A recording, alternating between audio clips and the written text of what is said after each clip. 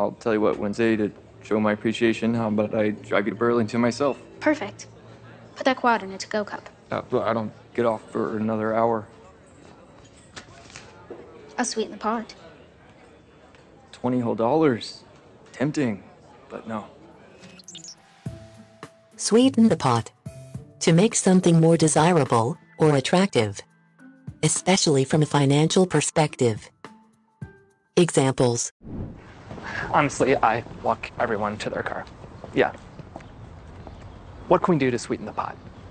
You know, uh, we could add cashless transactions. What if everything is handled on the phone? Yeah, you're right. You know what? I sweeten the pot. You got a 5, 20, 40, 60, 80, 580 bucks. Add that to the 1,000. It's more than half.